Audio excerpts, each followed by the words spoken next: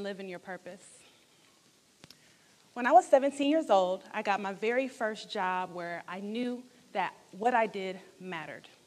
Jobs before that were jobs where I would just get a paycheck, pay some bills, meet some people, but this job was different. This job, when I was 17, I got, I was a certified nursing assistant, a CNA. And in that job, I remember working at a nursing home. And every day we would send our residents down to lunch. This particular day, I was sending my residents down to lunch, and Mrs. G had been sitting at the front door all day long. I said, I'm going to grab Miss G and I'm going to take her down to lunch next. Came to get Miss G. Miss G, it's time to go eat lunch. And she said, Baby, I'm not going to lunch today. I'm waiting for my husband to come home. Miss G had Alzheimer's. And I knew her husband wasn't coming home anytime soon. Her husband had died 20 years before. Rather than rushing her and hurrying her along to lunch, I sat down next to her. I said, Miss G, tell me about your husband. Tell me what type of man he was. Talk to me a little bit about your children. And what did she do? Her face just lit up. And she talked all about her husband, how great of a man he was, all the great things he was doing in the world, how awesome he was to their kids. I walked down memory lane with her for a full hour, and it was the best hour of my life I had had in a very long time. And that moment is when I realized my why. Why I came to work every day, why my work did not even feel like work, and why my work was helping me live in my purpose. Your purpose I have a purpose. You have a purpose. It's for the good of the village. If we do not live in our purpose, we will not be living in our why. And that's the question your why. What is your why? Remember your why. Your why is going to drive your purpose. So I've graduated since then, right? So I've graduated from certified nursing assistant to registered nurse to family nurse practitioner, and now I'm a nationally recognized healthcare school consultant. In all of those roles, I have had different purposes. And each time, I've always had to remember my why. Why? Because things get hard. Life gets rough, right? And sometimes you're doing things that you're trying to do it the best that you can, and then things are just crashing down around you. You have challenges, you have things you're trying to figure out. But you have to remember and stay grounded in your why. In 1998, my mother was murdered. It was because of the domestic violence that went too far. And I remember being a teenager and I was broken. My world at that time was crashing down around me. I didn't want to move on. I would have unimaginable thoughts as a teenager. I was so fragile. But guess what? The village it was the village. It was a CEO who owned a soul food restaurant who gave me my job. It was my childhood best friend's mother and grandmother, Mrs. Folks and Mrs. Williams, who gave me a home.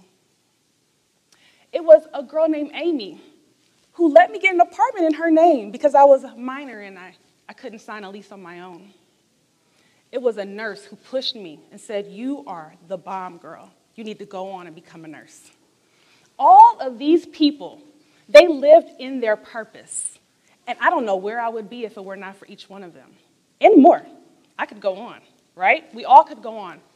But the idea is they lived in their purpose. Now, I don't know their why, I don't know your why. It's up to you to figure that out. What is your why? You need to remember it at all times. I like to think of your why you might be saying, Victoria, well, what's the difference between why and what's the difference between purpose, right? Because sometimes people get these confused. Well, there's a why and there's a purpose. I like to think that the purpose is the aftermath of your why, right? So let's define it real quick. Let's get techie here. Your why is your motive for your action. Your purpose is your action or goal to be achieved because of that why, right? So, with that being said, that means that you can't have a purpose if you don't know your why. Period. Can we agree? People go through their life always asking you, What is your purpose? What is your purpose? Do people ever ask you, What is your why? Suddenly, do we ask people that? I'm asking you to think about that right now. Now, when we think about our why, there's three things you need to think about in regards to your why. Number one, your why is dynamic. That means it will change over time, and that is okay. It's supposed to.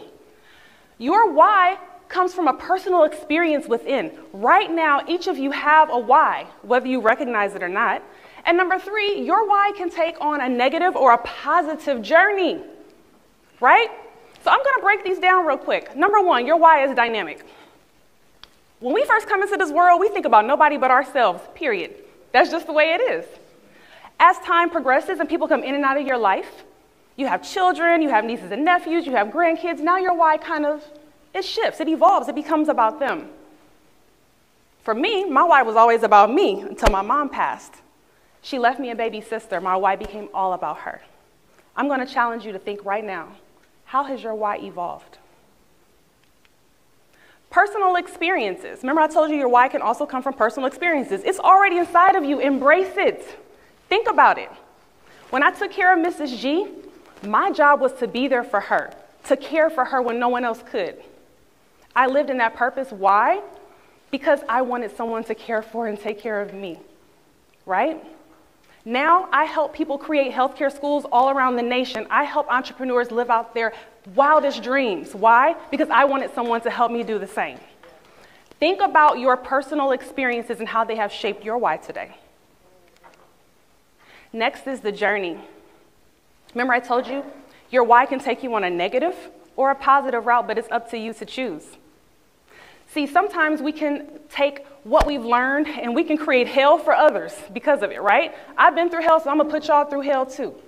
Or you can say, you know what, this experience, I'm gonna, I'm gonna change the world because of this experience. I'm going to make my mark. You have a choice. Now, when we're talking about the village, in order for the village to thrive, you have to take the positive journey. If you take the negative one, you will leave the village in a place of despair, solitude, and grief. That is not how we thrive. We thrive by touching one another, by being there for one another, for remembering our why and living in our purpose. So I'm going to challenge each of you. Think about your why. Think about how you got there. Think about how it's driving your purpose. Think about your experiences that have happened that have shaped your why over time, and think about how you're going to march it out in your journey. Because guess what? There is somebody on the other side waiting for you to live in your purpose and your why. And if you don't, the village will fail. And the cycle will continue. It is up to you. I challenge you. Do not forget your why.